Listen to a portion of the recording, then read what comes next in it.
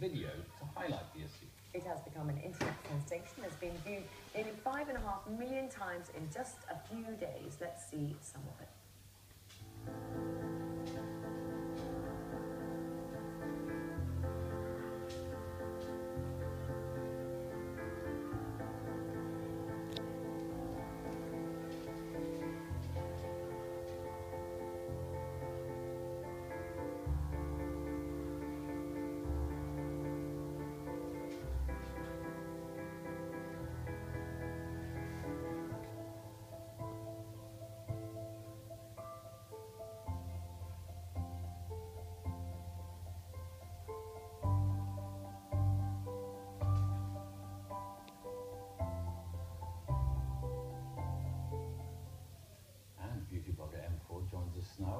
Consultant dermatologist Dr. Tim Clayton. Good morning. I Morning, suppose Dr. this is really about two issues. One is about, about the, the health issue that, that you and a lot of other people share, but also about the sort of reactions that people